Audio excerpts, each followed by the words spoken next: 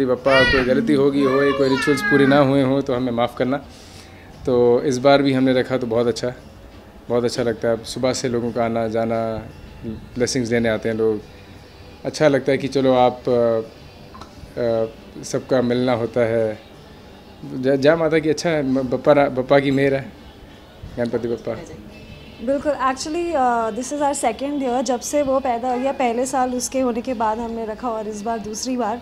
Preparations बहुत होती हैं, लेकिन पता नहीं चलता।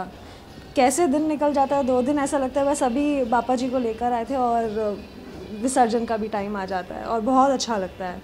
हमारे तो इको फ्रेंडली गणपति हैं। जब हम लेने गए थे, जब बुक करने गए थे तो हमें आसपास के मिले नहीं थे तो ये था कि जहाँ भी है, हमने लेना है इको फ्रेंडली ही है। क्योंकि जितना भी हो सके, हर इंसान अपनी तरफ़ से थोड़ा थोड़ा करे, तभी आप इन्वायरमेंट में कंट्रीब्यूट कर सकते हो। तो हमारे तो इको फ्रेंडली ही है। हमारा सिर्फ़ एक ये है कि हमारे पीछे कार्डबोर्ड के हैं। हम पीछे कार्डबोर्ड है। ये कार्डबोर्ड नहीं पीछे हमारा थर्मोकॉल है। हमें पहले आइडिया नहीं था पर नेक्स्ट ईयर हम अवॉइड करेंगे। थर्मोकॉल भी यूज़ ना करें जितना हो सके वो चीज़ें वो चीज़ें यूज़ करें जो आपके इकोनॉमी आपकी इकोनॉमी कह रहा हूँ आपके इन्वायरमेंट के लिए ठीक हो। और तो नेक्स्ट ईयर से थर्मोकॉल भी हम अवॉइड करेंगे।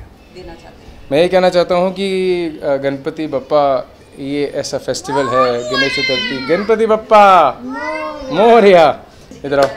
बेबी, इधर आओ। इधर आओ, बेबी। गणपति बप्पा मोरिया! ठीक है। Thanks a lot thanks a lot